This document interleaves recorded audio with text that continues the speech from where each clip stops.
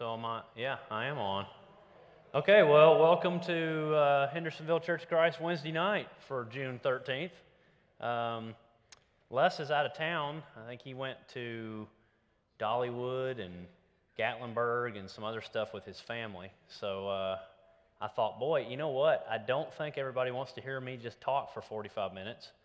And I had come up with an idea for some uh, interactive stuff that we could do with our phones, you know, like we do sometimes after the Chosen episodes. And I kind of went down that path a little bit. And then, and then unfortunately, Cheryl had a uh, Compassionate Hands board member meeting late this afternoon that she just got out of about 15 minutes ago uh, for their budgetary process for the homeless in Wilson County. And I said, Well, you're not going to be there to run the computer for that part that we do with that software that other people, you know, haven't been trained on, which is fine. And I thought, So that's not going to work. So I was back to just me again, and I thought, No, that's not a good idea. So I went to lunch yesterday with Nathan White, and while we were at lunch, I, I twisted his arm, and he decided that he would join me. So uh, I'm looking forward to that. Um, give you give you a different a different voice to listen to, and different brain and different different heart and different uh, thought process. So we're excited about that. So we'll uh, open with prayer, and then Nathan will come up here, and we'll go through uh, chosen for discipleship and have a couple of connections to episode three of season two of The Chosen, but not many. I mean, like I've told you, we're not really trying to come in here and just do a rehash of the previous Sunday night because you've watched it and you've probably had your own discussions at home or whatnot. Um, and if you haven't watched it, these lessons don't necessitate that you've seen it in order to follow along with us or understand. But there were some powerful statements from that that we've kind of uh, kind of threaded into the discussion tonight. So I'll let uh, I'll let the Fosters find their seat so that we don't start a prayer and with people in the aisleway, and then we'll uh, pray and get started. All right, let's pray. Father, thank you so much for uh, just a beautiful day. It was nice to have a little break from the heat, and yet the sunshine was out. It still feels like summer, but it's not quite as oppressive as it, as it has been, and we thank you for that. Um, I thank you for my brother Pete being here tonight, and I just lift him and his situation that you are fully aware of.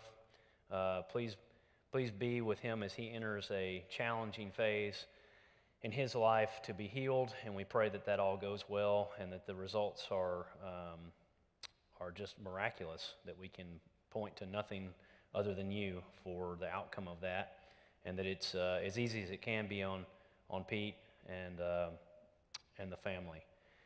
I pray now that as we go into this conversation about being chosen for discipleship and those that are online that are uh, navigating it with us, that whatever's going on in everybody's life, um, whatever needs they have and whatever things they're wrestling with that you already know about, that if we pause for just a second, may all the names come up to you about the situations, whether that be health concerns or job loss or uh, marital problems or um, just depression, just uh, who, all manner of things that people that people carry with them that they don't oftentimes share the details of, but we know that you know. So as we pause for just a second, um, everyone feel free to lift up those names that are on your heart and your mind.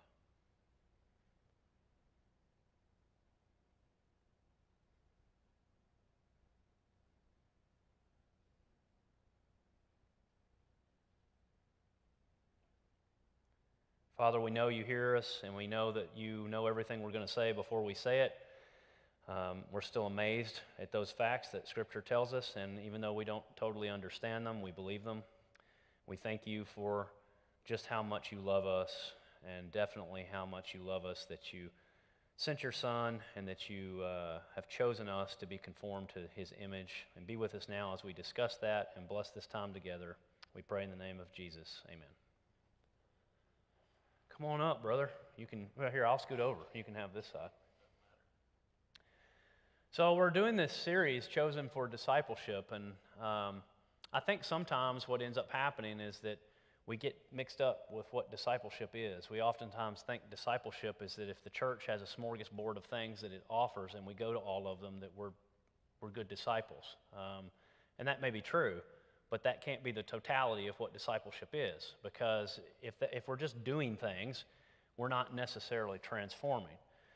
So, Nathan and I thought we'd start tonight with a question that I've actually asked on Sunday morning. Uh, we're into, we just finished the second week of a new quarter, and in the class I'm teaching, we're looking at what the gospel is and how we've kind of shrunk it. And so I asked the same question to you that I asked to my class, which is, what is the good news? And there's a bunch of different answers that usually come up, but the short of it is the good news is much bigger than we probably realize. And it's a whole lot bigger than we can distill down to a bumper sticker or something to talk to somebody in you know, 10 seconds and try to convince them to come to all of those church functions. Um, it's bigger than that. And I would say that one of the biggest blocks to people being able to understand the good news, Nathan, is that they've got this idea that they've got to add something to it. They've got to do enough, they've got to have been good enough, they've got to have visited enough people, they've got to not use too many bad words, whatever it is that that's their litmus test.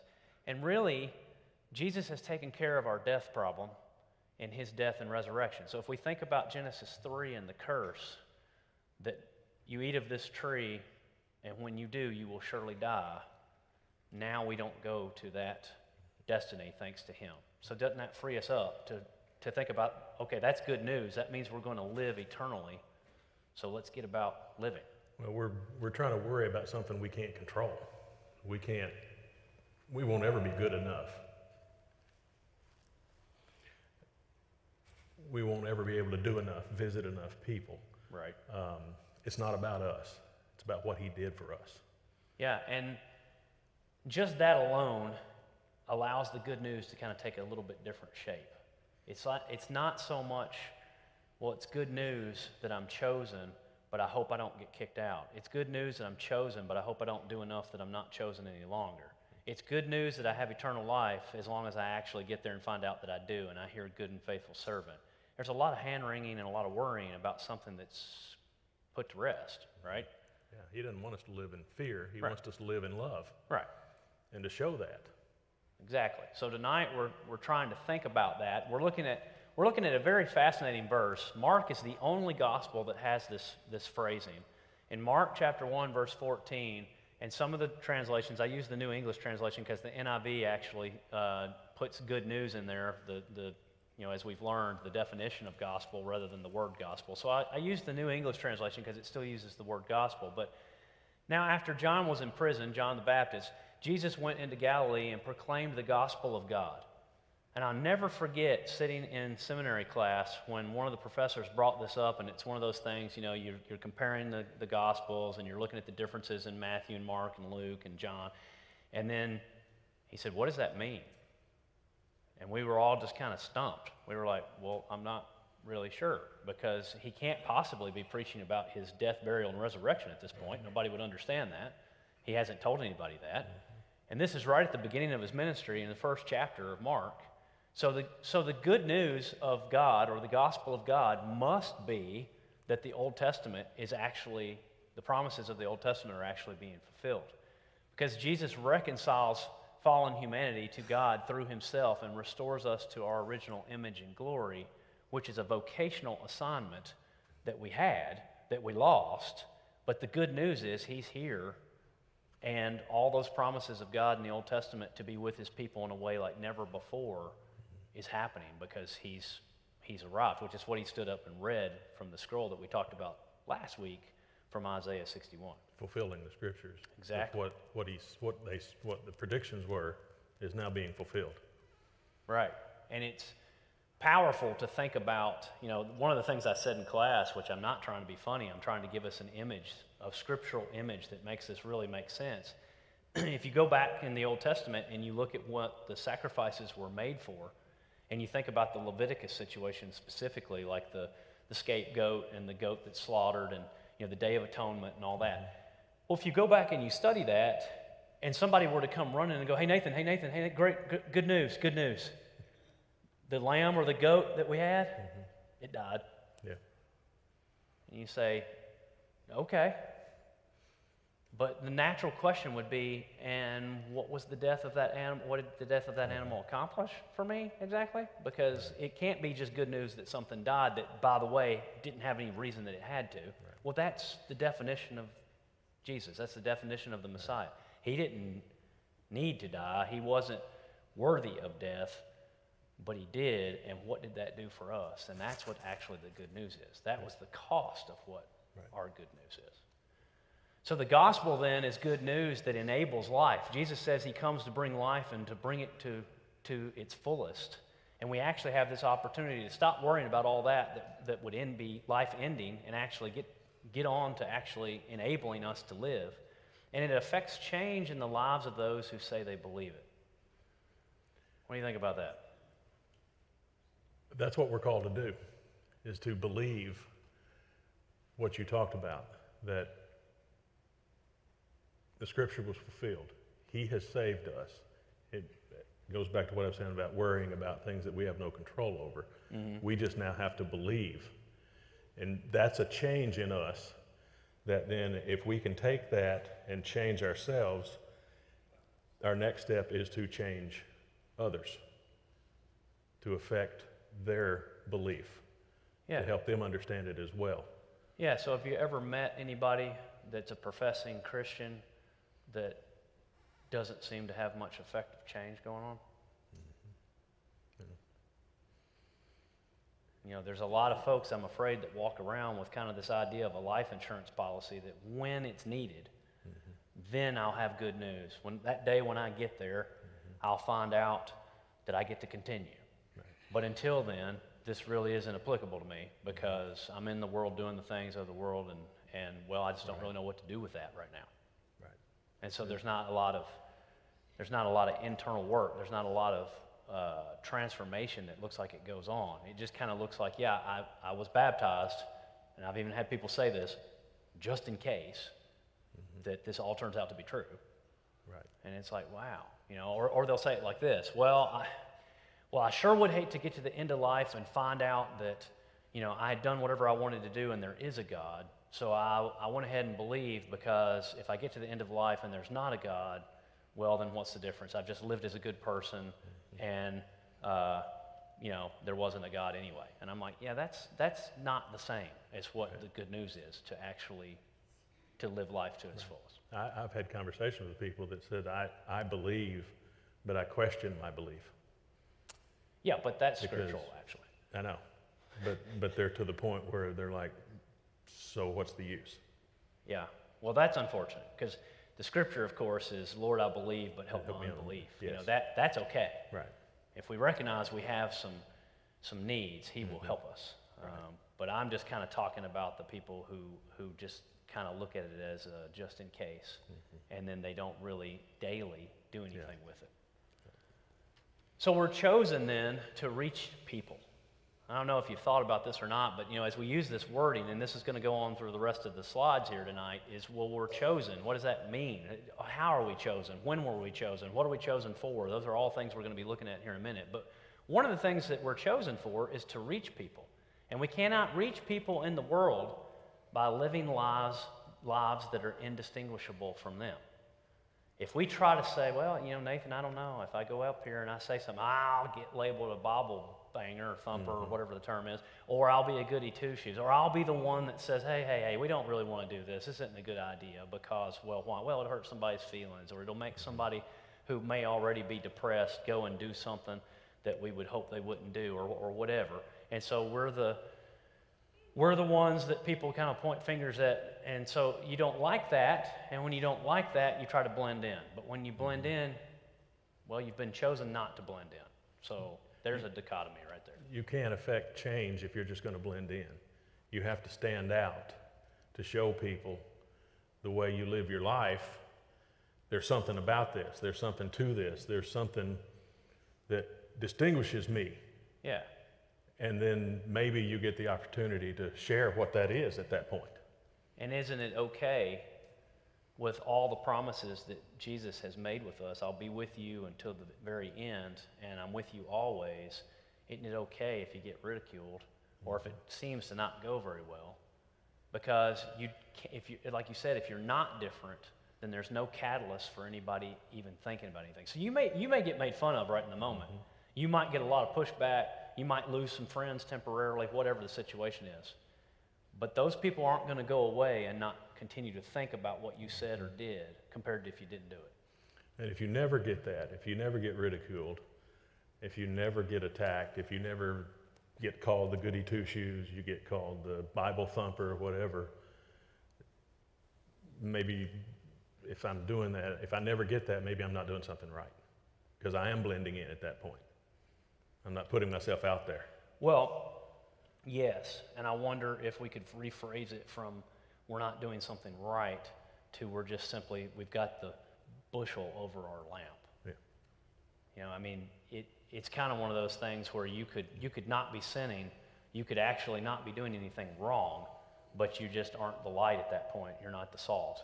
You're just, you're just lost. You've lost your saltiness. You've lost your, you've lost your wick. Right. So you're just in the crowd, and no one knows it. Yeah. But yeah, I think that's uh, that's an important distinction. So we're also chosen to be different. That's what we're talking about. We're chosen not to blend in, and wholehearted followers of Jesus live differently from the world. Um, because if they don't, then they don't. They're not really wholehearted followers. That's the whole part of the discipleship part. Is you know when when we said last week when Les and I were up here and we said, well, wh- how did that go down exactly when Jesus said, "Follow me," and they just dropped their nets and they just followed him?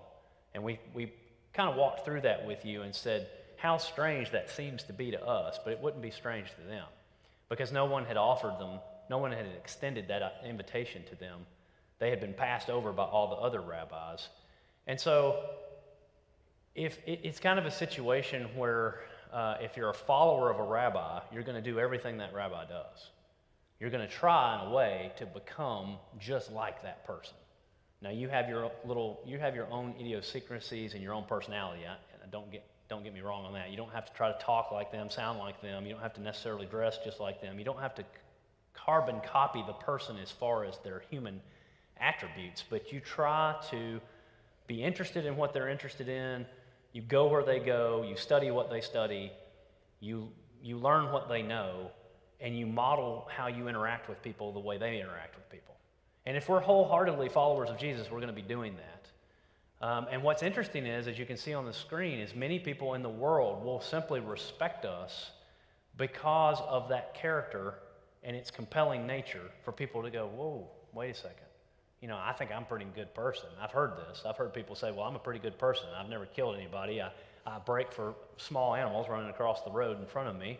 I don't steal. Uh, I'm nice to elderly people. I hold the door open for folks. Uh, I use, you know, I use clean language. Uh, I don't embezzle. I, um, I, I don't know what I would get from you people that I'm not already doing. But then when they see us wholeheartedly following Jesus, mm-hmm. there's another level of distinction right. that's not there just by being a moral person, right? Right, because it's, I mean, it, wholehearted is the word you keep going to. That's, it's not partial, it's, it's the whole deal, and it, they know what they believe. They know it. You, it's, it's something you know, and you know how to love, and it's compelling because we are trying to live the example that Jesus set. Yeah. We are trying to know that what he said and, to do and, and, really, know that how to love all of that. We're trying to do all that outside of here. Right. Because if we're doing it in here, well, I would be shocked if any of you ridiculed me or Nathan for trying to do something like Jesus in here. But if we go out of here and say, well, that was our that was our second of the week uh, attendance to the church building, and you know we'll be back on Sunday, and we'll contemplate more stuff then. Then we miss all the opportunities that God puts in front of us on Thursday and Friday and Saturday we have to be intentional about going out to where the people are. Yeah, because I think the whole hearted is the whole life, is what I'm getting at. Yeah, I mean, it's every day. It's Tuesday, it's Thursday afternoon, it's situations we talked about yesterday with the, with the uh, waitress. Right. Um, you know, I mean, it's, it, you, you're living it every day when you, you think about the things that when you deal with something as simple as a waiter or waitress got your order wrong. Mm. Or, in my case specifically, I've been an official. I know there's some, there's a few officials retired in here. I've been an official for a long time. And it's how you react from my standpoint when I'm on the field or on the gym floor. But it's also when I see people react to me in a call that I made. And, you know, in 37 years, I've probably got two or three wrong. So, Glad you guys laughed. That, Yeah. was, a, that was clearly a joke. but it, you have to be careful because there's always people watching. You never know who's going to be there. You never know what, who's going to see you react and how you react. And I t- I was telling Stan that years ago, I, and let me preface this by saying I have never called a Hendersonville Church of Christ softball game, but I have called church league softball.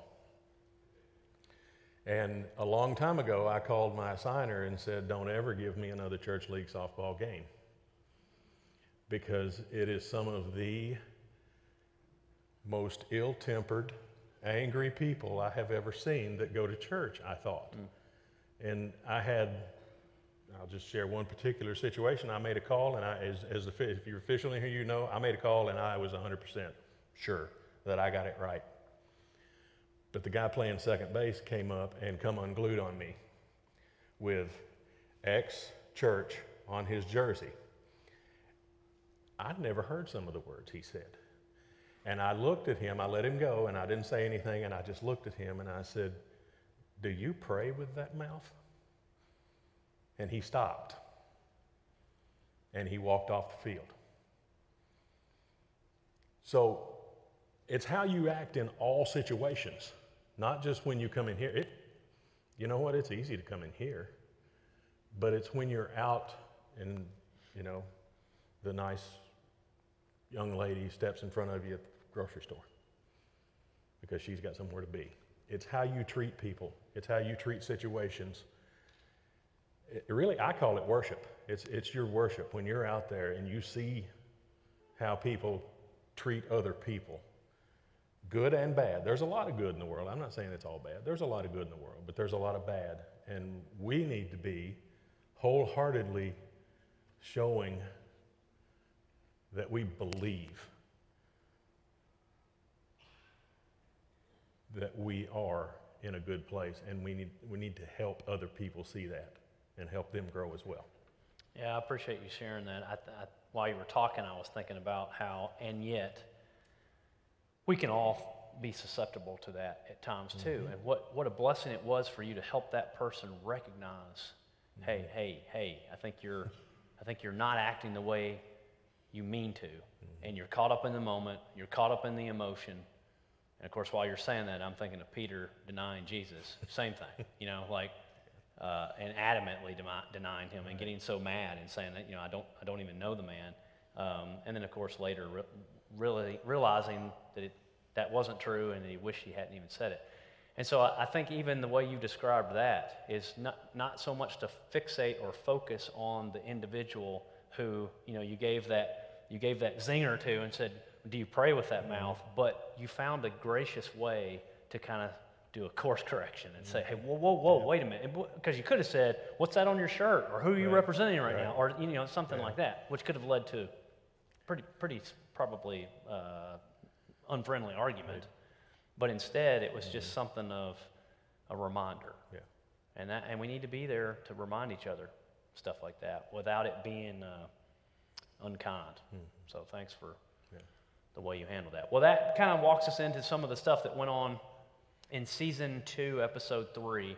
It was the shortest. It was the shortest episode of the season. If you are a regular chosen watcher, uh, it was only like 37 minutes, but it was it was focused on Matthew 4:24, which is on the screen. News about him spread, of course, Jesus, all over Syria, and people brought to him all who were ill with various diseases, those suffering severe pain, the demon possessed, those having seizures and paralyzed, and he healed them. So, in the episode, right from the beginning, the disciples are all running around, and Jesus is off, and, and they're counting how many people, and Matthew's doing computations of, you know, how, well, if he sees 500 people and more people are joining the line, you know, we're going to be here all day. And there's some comments back and forth about, yeah, we know that. Um, but basically, what's happening is Jesus is off working, and they're hobnobbing around and talking about other things. And so it actually moves from the day to the night, and they've got this nice fire going, and Mary, Mary talks about getting up and going and getting the evening meal ready. And so you get this idea of these subplots that start to develop around the fire. And this is important. I don't, I don't of course, know where all they're going to go with uh, season three through seven, but we know from the Bible that these subplots are real. We know that there were arguments and, and things that were emotion, just like just exactly like what you were just talking about, Nathan. Yeah. Because we even see it at the at the Thursday night Last Supper. We see right after Jesus tells them, "This is the bread broken for you. It's my body. This is the cup." What do they do? They turn around and they start arguing about who's going to be the greatest in the kingdom of heaven. And they're all, and they're at the table with him, and he's instituting the new covenant. And they're over there saying, "Well, am I going to be better than you, or are you going to be better than me?" Mm-hmm. So, to get to that kind of craziness, somewhere it had to start. And what the chosen's doing is showing you how it gets started. And around this fire, there's all these comments about, like, hey, when are we going to get to the fun stuff? When are we going to get to the sword play? When are we going to get to the, you know, dethroning the Romans? When are we going to get away from this healing people? Sure, if he wants to heal people, that's great. I'm glad he's healing people. But this seems to be slowing us down for what we need to be doing with the Messiah. Well, there's, there's an example of not understanding what the Messiah came to do. And then they turn on Matthew. Uh, Peter just does an all out verbal assault on Matthew. And then everybody else kind of joins in. Well, I, I, shouldn't say everybody. Several, several of them join in, including Philip uh, and little James and a few others. And they all start piling on to Matthew. How dare you be someone who's rich, who has nice clothes, who worked for the Romans that we're trying to get with the Messiah to overthrow. And Peter ends up saying some stuff that he can't really take back. He says to Matthew, and of course I'm paraphrasing all this, he says something to the effect of, I'll never forgive you for you working for the Romans. I'll never forgive you for the taxes you put on my family that caused me to have a really hard time and have to figure out how to raise this money that I owed and all these things. And, it, and, they, and they finally have to tell Peter, You've made your point. You know, Big James does. He's like, Okay, you've said what you needed to say. You can back off of him now. But he just keeps on and keeps on and, and it, keeps on attacking. And it's that mob mentality. Once one or two starts, more come in, and it takes somebody with a voice of reason to step up and say, Hey, that's yeah. enough. And so James tries it, right? Big James tries it. John's kind of being kind of quiet. And then Mary says in the middle of all this, uh, somebody says something about, you know, why is he here? What does he come for? And she says, I don't think he's waiting for us to be holy. I think he's here because we can't be holy without him. And I think it's uh, Bartholomew who kind of goes, that's, uh, that's powerful. You know, that's, that's a really big statement because they kind of realize that things are kind of going in a trajectory that's not real healthy. Um, and if they're doing anything, they're not being holy, they're not being distinct, or they're being different, or being the set apart from the world. They're actually acting just like everybody in the world does because they're attacking Matthew and they're making all these comments about we got to convince Jesus to do what we want him to do, and we've got to get him back to what we think he should be doing rather than healing people. So all this stuff is going on, and then he comes in. And I know Susie told me, she said, uh, if you don't mind me telling, Susie says, Yeah, I sat there watching that and I thought, man, this whole episode is just about this fire, you know, conversation. Mm-hmm. And we get it, you know, we get it, we get it. And then Jesus walks by and she goes, Oh, yeah, okay, that, I see what happened there. You know, here he comes in exhausted, his feet are hurting, he's sweaty, he's visibly tired. They're sitting there doing all this discussion and pushback and whatever, and it just stops. And when it stops and he walks by, he just says to them, Good night. Yeah, just walks by. It's, I mean, it's, it, it's a situation where he knows what they've been talking about. He obviously knows. Sure. He knows what they've been talking about. He knows what they're arguing about. And that walk, that, that is, to me, he is walking through going, I am not dealing with you kids tonight. I am worn out, and I'm going to bed. Because dealing with people and healing people there all day is it, it was exhausting. I'm sure it was. Yeah. And and he's going to bed to rest because again, what I got out of that as much as anything is there are numerous times throughout where we're talking about, you know, what all we got to do and we got to do this and we got to do that. But we got to remember that we've got to feed ourselves as well. We've got to take a little bit of time and back up and feed ourselves and relax and be ready to go again. Because he wasn't done, he was going to, it was going to start happening again, but he needed some rest. And that's what he's doing. And I think this was, I mean, he was healing people, everything, showing you. I, I got a little bit, I felt like I was getting a little bit of a glimpse of what it's going to be like to be in the presence of God. Mm. Because at that point, there is no sickness, no illness, and he's about to establish the fact that there's no death. So there's a moment here where, in the presence of him, he's healing everybody.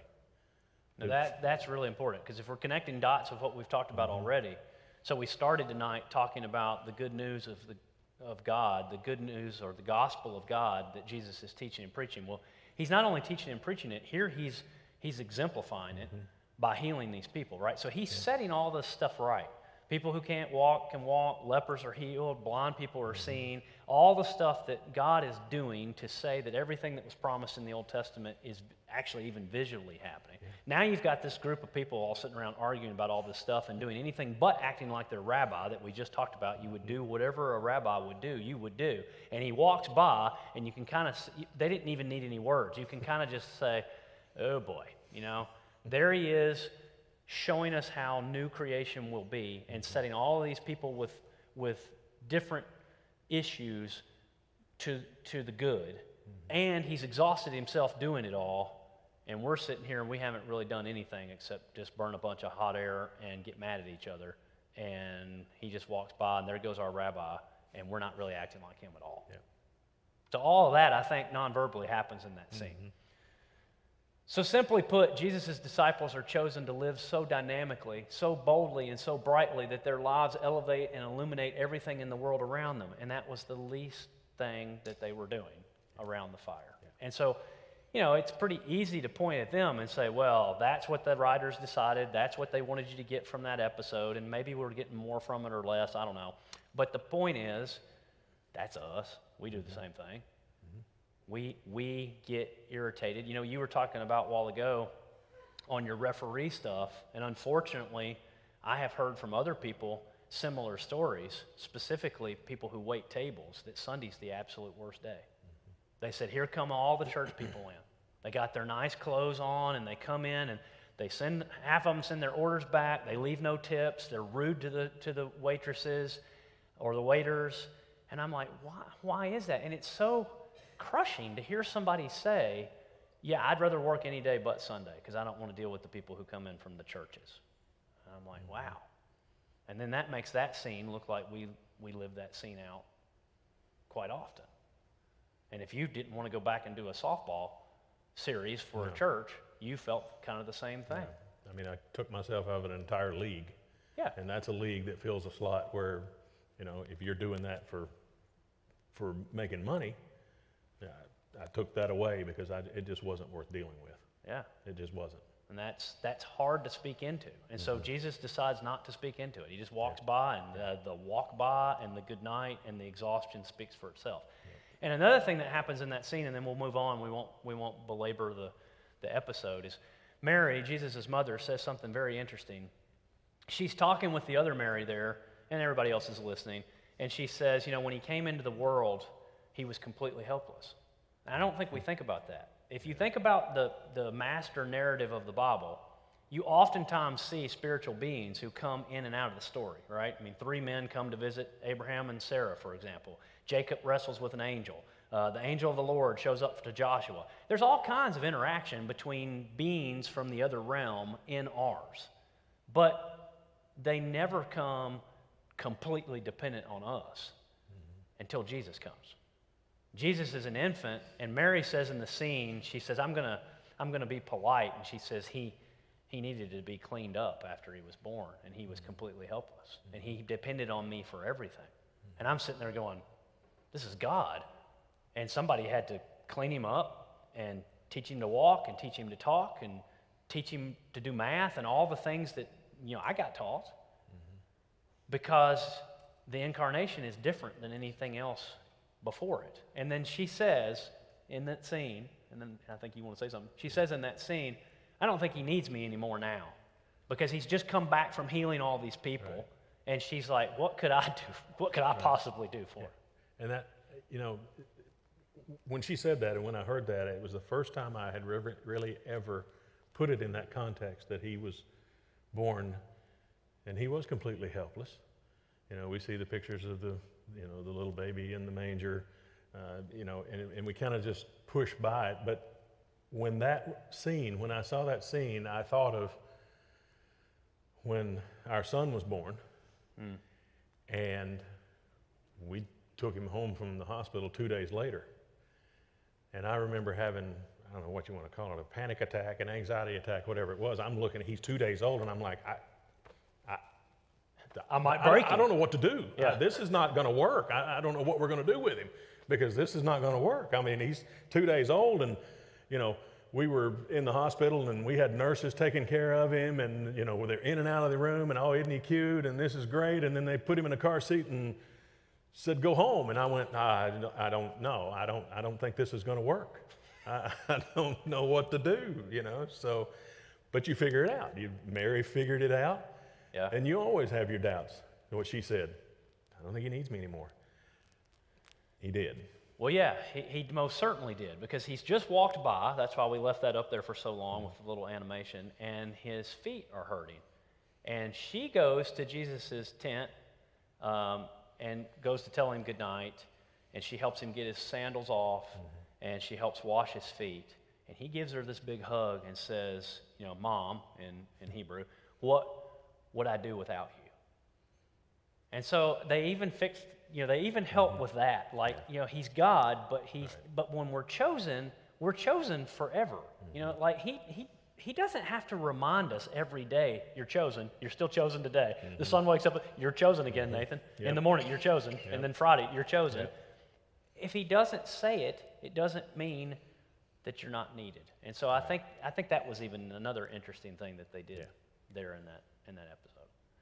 So let's look at what it means to be chosen. If we go, there's other texts, but these were just the ones that kind of came up this afternoon while I was putting this together. If you go to Isaiah 41 9, and again from the New English translation, um, it tells us right there. Now, this is speaking about the, the servant, and, and I, want to, I want to bring these two things together, okay? In 41 9, it says, You whom I am bringing back from the earth's extremities, that's all the people who were scattered into the other nations, and have summoned from the remote regions. I told you, You are my servant. I have chosen you and not rejected you. So if we've been chosen and we've been selected and it's permanent, then we don't have to keep asking if we're still chosen. Now, the servant, you are my servant, becomes very powerful because that servant, as we know in Isaiah 53, is a foreshadowing to Jesus, and Jesus is the ultimate servant, and he's the one that ends up taking on the sin of the whole world and becomes the servant of all, right?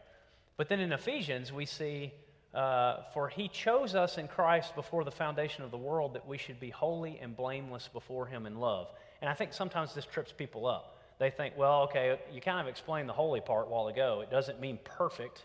Then we see the word blameless and we think, well, maybe it does mean perfect. But what it's saying is, in Christ, when God looks at us, he sees Jesus. And we are to be set apart, we're to be distinct from the world around us. And the blameless part is not that we won't make mistakes, but that we are striving in Christ to be as much like him as we possibly can. And God knows all the things that, that keep us from actually arriving at the, at, the, at the perfectionism of that. So, two interesting things Old Testament text, New Testament text. And then if we put them together and we say, okay, well, then wait a second. What are, we're chosen for what exactly? Well, to be conformed to the image of Christ. We've all said that, right? We've even heard sermons on that. We've maybe said that ourselves. Um, the Holy Spirit is working in me, Galatians 4:19, as if you know a woman in labor, that I might be formed into the image of Christ. And He's doing the same thing in all of you. And so we are being formed into the image of Christ. Okay, the image of Christ We've looked at multiple different ways tonight, but one of the ways we just looked at from Isaiah is Christ is the suffering servant of the Old Testament. So, Nathan, can that mm-hmm. possibly mean that we're going to win the lottery and everything's going to be great and we're going to be happy all the time? It, it's not a, we're not here to be happy. He wants us to be happy, And we will be. and we will be happy. But it's it, it we're put here to glorify Him, hmm. to live a life that when He looks at us, that He sees. You know, Nathan has got his struggles. He is really struggling, but I see he's trying. I see he's doing his best. And yeah, he's got his faults, but everybody else does too. And if we can get to that loving both God and people, mm-hmm. that's what he wants to see. He wants to look down there and see, I'm looking at somebody that loves me, and I'm looking at somebody that loves people. Because if we love him, we're going to love people, and we're going to try to get those people to love him as well. And we're going to create more people. That it's that whole that whole commercial years ago. You know, they tell two friends, and they tell two friends, and, and it just goes on and on and on. And that's what he's looking for, is for us to go out there and do it. Well, I, I really like that example because I'm afraid that, you know, what I love to do is I love to lay things out that we've all heard that we kind of go, nobody's going to actually say that. And Yeah. call me crazy. I, I sometimes say them. But, you know, I think what we've done is we've made it like a salesman's job. You know, we think that what it means to represent Jesus wherever we find ourselves and with whomever God places us is has to close the deal. And if we don't close the deal, he goes, oh, man, you were so close, Stan, mm-hmm. and you didn't get that one done. But I like what you said. No, it's we're to love God and love other people, and He's with us, and He knows about the others that we don't know. Mm-hmm. And we might be just arm twisting and dragging and doing whatever we can do. And he's just going, yeah, that's not going to work. That's not going to work yet. That's not going to work because they're not, they're not hearing you. They're not listening to that. They haven't seen that yet. I haven't shown them that yet. You were just supposed to be somebody who shows you love me and love them uh, and stop, you know, just do that. And so I think, I think we, we put on ourselves a yoke that's heavier than what Jesus asks us to carry a lot of times. And, and you'll never know what, what effect you have on people. Sometimes you'll never know it. And briefly, and I, I cut this story short because my grandfather had a brother that was like an uncle to me because him and my dad were real close in age. And my grandfather kept trying to get him to go to church, get to go to church, get to go to church, never, never, never would. And my grandfather didn't beat him over the head with the Bible. He would just call sometimes and say, hey, you want to come to church with us? Mm. Never did. My grandfather passed away.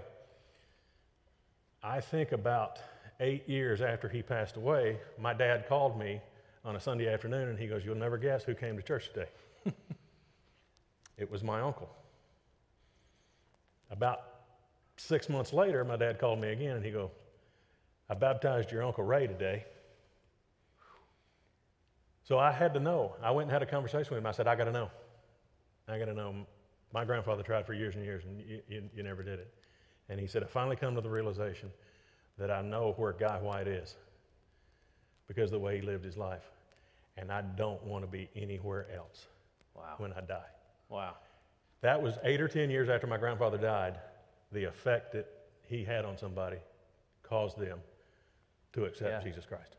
Yeah, and, let, and let's be really crystal clear on the fact that we're not trying to say, well, this is a great wiggle way to not have to. No, here's the thing though. If we're not careful and we make it about us and we try mm-hmm. to force it, like if your grandfather had tried to force it, mm-hmm. it will put him possibly into mm-hmm. Situations like on the ball field where you, you stop and go, well, I was trying so hard to make something happen that I almost went into unchristian like activity to try to make it happen. And then and then you're not doing what he what he asked you to do. So it's it's um it's a lighter load than, than sometimes we do. So questions that this might lead to. I didn't skip one, did I? Um, no, chosen for what? All right, so questions. It might come up with this. Uh, who am I?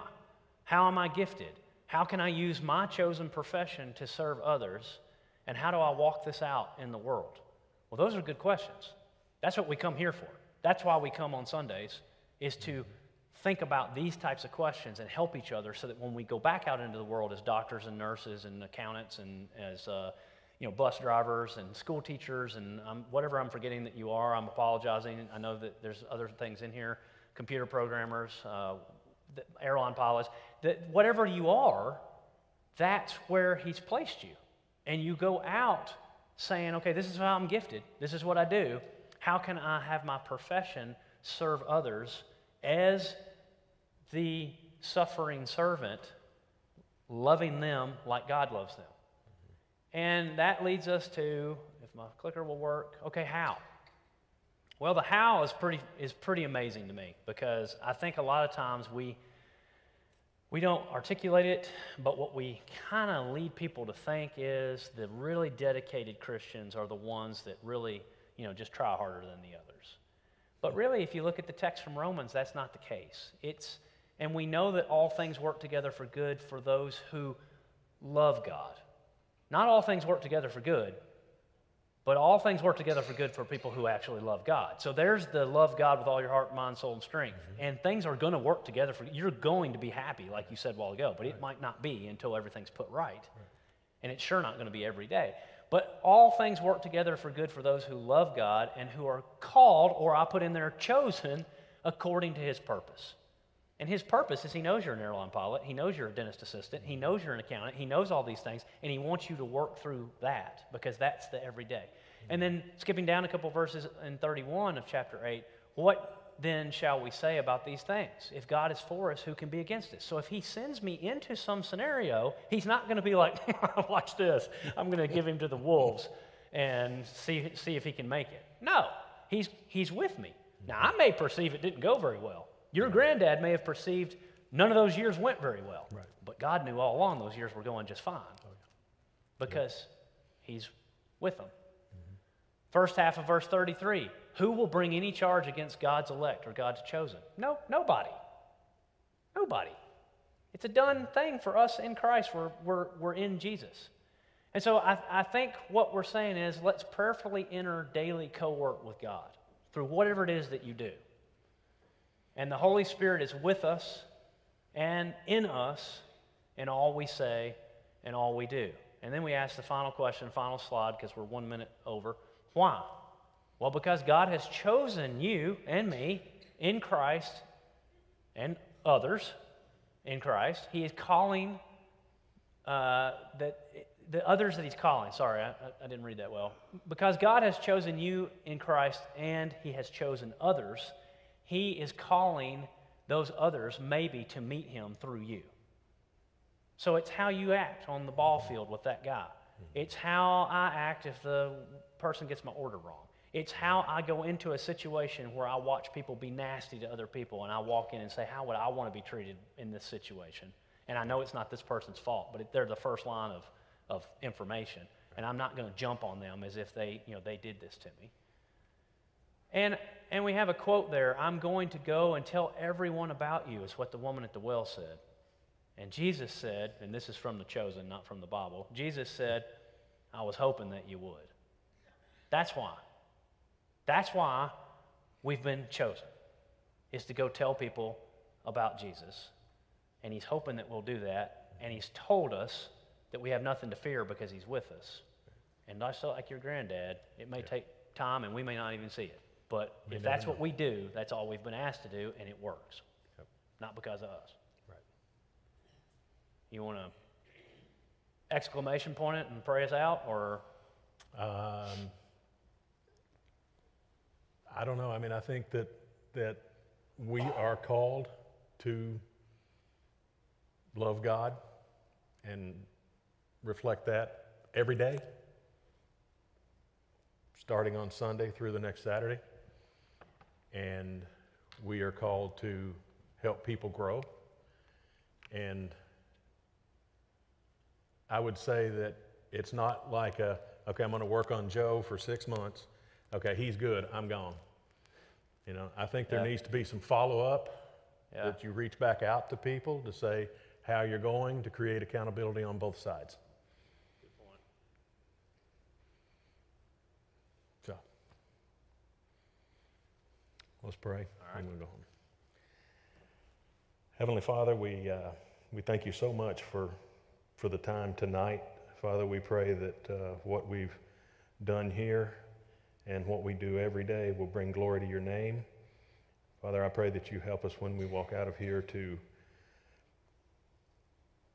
show people that you are living in us, that we are trying to live the life you want us to live, that it's obvious that we can affect change in people and that we can lead people closer to you and we can make disciples and they can make disciples, and it just keeps on going, Father. We're thankful for everything you did, for every example you gave us.